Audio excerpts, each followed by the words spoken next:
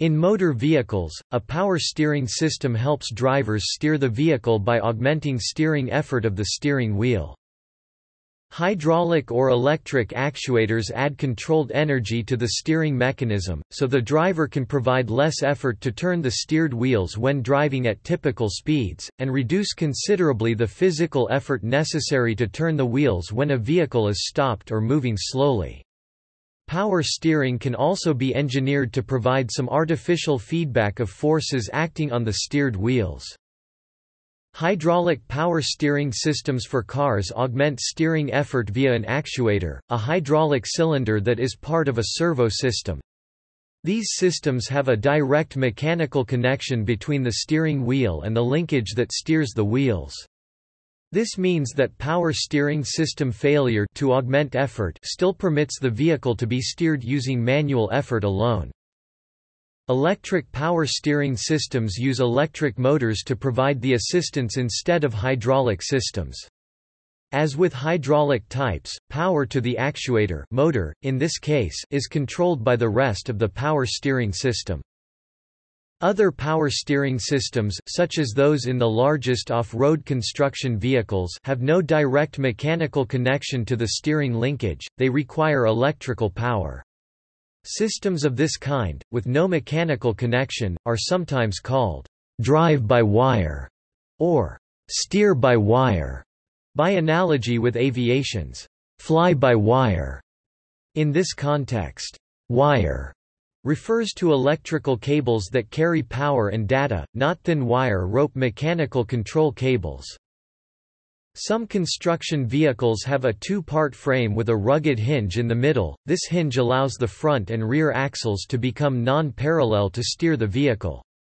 Opposing hydraulic cylinders move the halves of the frame relative to each other to steer.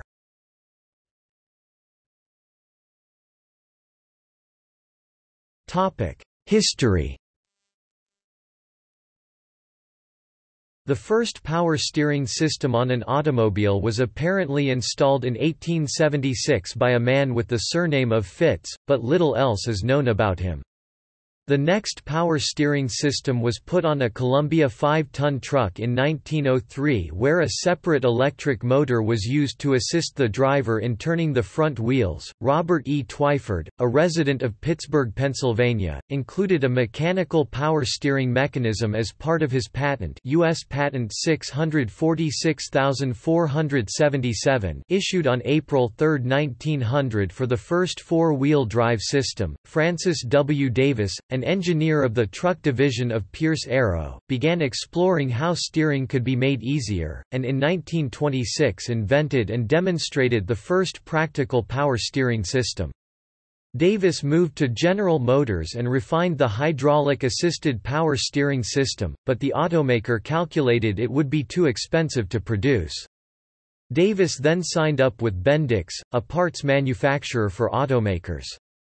Military needs during World War II for easier steering on heavy vehicles boosted the need for power assistance on armored cars and tank recovery vehicles for the British and American armies. Chrysler Corporation introduced the first commercially available passenger car power steering system on the 1951 Chrysler Imperial under the name Hydra Guide.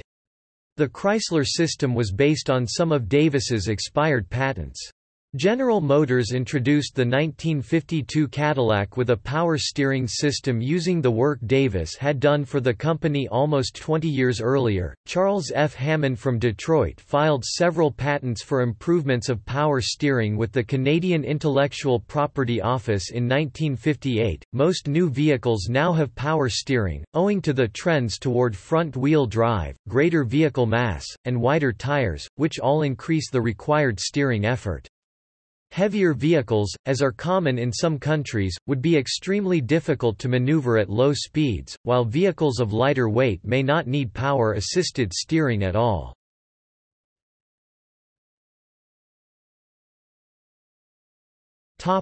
Hydraulic systems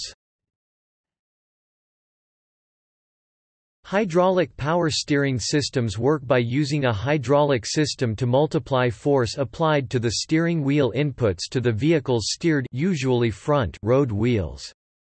The hydraulic pressure typically comes from a gerotor or rotary vane pump driven by the vehicle's engine. A double-acting hydraulic cylinder applies a force to the steering gear, which in turn steers the roadwheels. The steering wheel operates valves to control flow to the cylinder. The more torque the driver applies to the steering wheel and column, the more fluid the valves allow through to the cylinder, and so the more force is applied to steer the wheels. One design for measuring the torque applied to the steering wheel has a torque sensor, a torsion bar at the lower end of the steering column.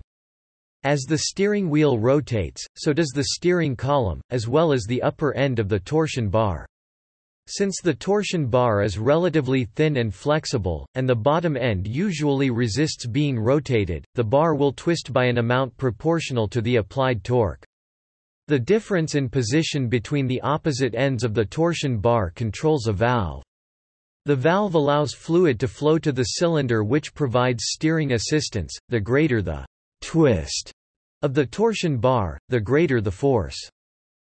Since the hydraulic pumps are positive displacement type, the flow rate they deliver is directly proportional to the speed of the engine. This means that at high engine speeds the steering would naturally operate faster than at low engine speeds. Because this would be undesirable, a restricting orifice and flow control valve direct some of the pump's output back to the hydraulic reservoir at high engine speeds. A pressure relief valve prevents a dangerous buildup of pressure when the hydraulic cylinder's piston reaches the end of its stroke. The steering booster is arranged so that should the booster fail, the steering will continue to work although the wheel will feel heavier. Loss of power steering can significantly affect the handling of a vehicle. Each vehicle owner's manual gives instructions for inspection of fluid levels and regular maintenance of the power steering system. The working liquid, also called hydraulic fluid or oil, is the medium by which pressure is transmitted. Common working liquids are based on mineral oil. Some modern systems also include an electronic control valve to reduce the hydraulic supply pressure as the vehicle's speed increases, this is variable assist power steering.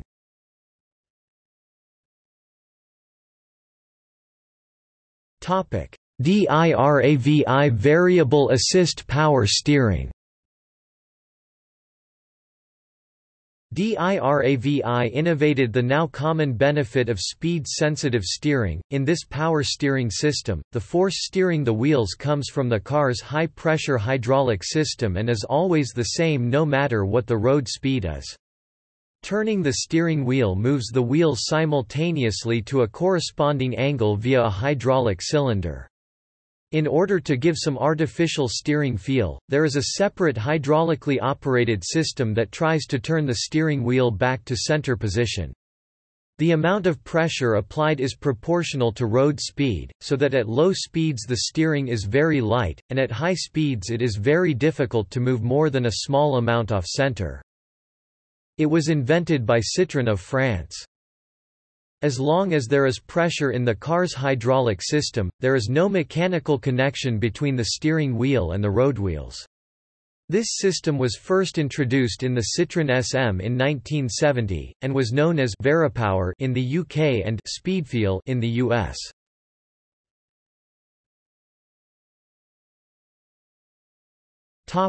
Electro-hydraulic systems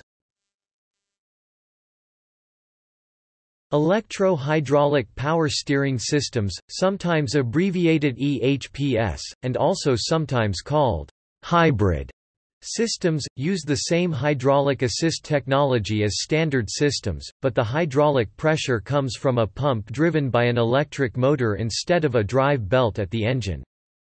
In 1965, Ford experimented with a fleet of wrist twist instant steering Equipped Mercury Park lanes that replaced the conventional large steering wheel with two 5-inch rings, a fast 15-to-1 gear ratio, and an electric hydraulic pump in case the engine stalled. In 1988, the Subaru XT6 was fitted with a unique Cybrid adaptive electro-hydraulic steering system that changed the level of assistance based on the vehicle's speed.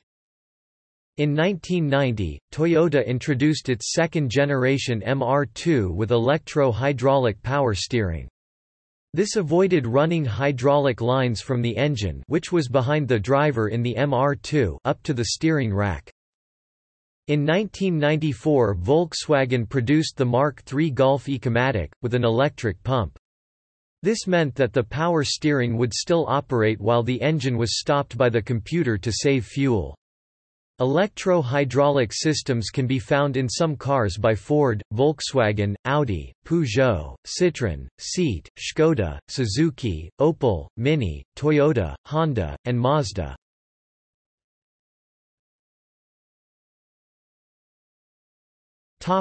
Electric systems Electric Power Assisted Steering EPS, EPAS, or Motor-Driven Power Steering MDPS uses an electric motor to assist the driver of a vehicle. Sensors detect the position and torque of the steering column, and a computer module applies assistive torque via the motor, which connects to either the steering gear or steering column. This allows varying amounts of assistance to be applied depending on driving conditions. Engineers can therefore tailor steering gear response to variable rate and variable damping suspension systems, optimizing ride, handling, and steering for each vehicle. On Fiat Group cars the amount of assistance can be regulated using a button named City that switches between two different assist curves, while most other EPS systems have variable assist. These give more assistance as the vehicle slows down, and less at faster speeds. A mechanical linkage between the steering wheel and the steering gear is retained in EPAS. In the event of component failure or power failure that causes a failure to provide assistance, the mechanical linkage serves as a backup. If EPAS fails, the driver encounters a situation where heavy effort is required to steer. This heavy effort is similar to that of an inoperative hydraulic steering assist system. Depending on the driving situation, driving skill and strength of the driver, steering assist loss may or may not lead to a crash. The difficulty of steering with inoperative power steering is compounded by the choice of steering ratios in assisted steering gears versus fully manual. The NHTSA has assisted car manufacturers with recalling EPAS systems prone to failure. Electric systems have an advantage in fuel efficiency because there is no belt driven hydraulic pump constantly running, whether assistance is required or not, and this is a major reason for their introduction. Another major advantage is the elimination of a belt-driven engine accessory, and several high-pressure hydraulic hoses between the hydraulic pump, mounted on the engine, and the steering gear, mounted on the chassis. This greatly simplifies manufacturing and maintenance. By incorporating electronic stability control electric power steering systems can instantly vary torque assist levels to aid the driver in corrective maneuvers. In 1986 NSK put the EPS for battery fork into practical use. In the subsequent eight years Koyo Seiko current JTEKT, NSK developed a column system exclusively for minicars, sold only in Japan such as Suzuki and Mitsubishi Motors. However, this simple method was noticeable due to the inertia feeling of the motor at the time of rapid steering for danger avoidance in low-speed running, at the time of high-speed running at which the steering force became small, returning to the manual steering. As a result, that system was not adopted. In the late 1990s, a direct full control system of a rack assist without clutch to a regular car was put into practical use at the Honda Car NSX 3.0 liter and sold all over the world. Since then, there has been a transition from a brush-attached motor to a brushless motor in the rack type of ordinary vehicles, this method has become mainstream. Electric power steering systems appeared on the Honda NSX in 1990, the MGF, the Fiat Punto Mk2 in 1999, the Honda S2000 in 1999, Toyota Prius in 2015, the BMW Z4 in 2002, and the Mazda RX-8 in 2003. The first electric power steering system appeared on the Suzuki Cervo in 1988. The system has been applied by various automobile manufacturers. Topic: Electrically variable gear ratio systems In 2000, the Honda S2000 Type 5 featured the first electric power variable gear ratio steering system. In 2002, Toyota introduced the variable gear ratio steering VGRS system on the Lexus LX 470 and Land Cruiser Cygnus, and also incorporated the electronic stability control system to alter steering gear ratios and steering assist levels.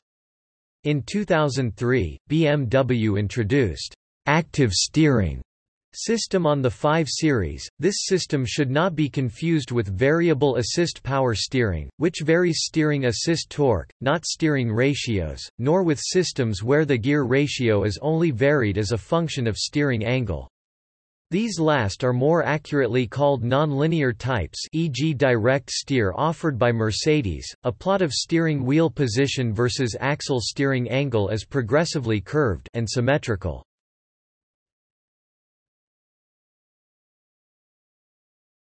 Topic: See also.